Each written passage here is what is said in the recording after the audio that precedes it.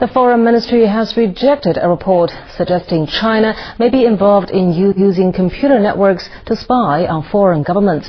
A ministry spokesman said the authors of the report are possessed by the ghost of the Cold War. Qin Gang dismissed the claim as rumor and said the Chinese government is committed to protect internet security. He attributed the rumors to the Cold War mentality and theory of the China threat.